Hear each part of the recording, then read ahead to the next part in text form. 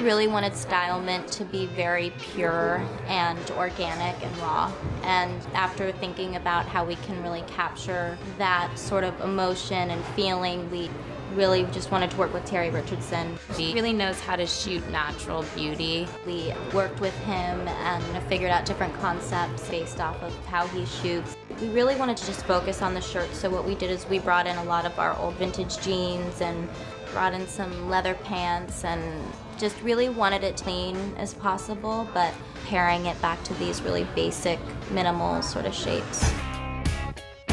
When I asked what were they expecting of the concept of this shoot, they were like, okay, you have to be your, you just have to be yourself. Tati, she's got a great sense of humor. We wanted a girl that was sort of quirky but beautiful, and the way she moves, I think she feels confident.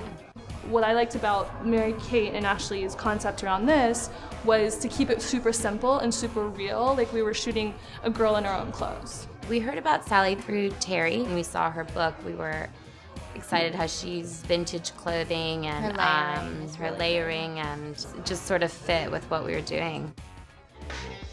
Once Sally showed us everything that she had brought and we had brought, it becomes very clear what shirt should go with what piece and just let it be as organic as possible and not forced, but what felt good and what looked right. You really just want good people around you. And people excited to be here. Yeah, it's a really good team.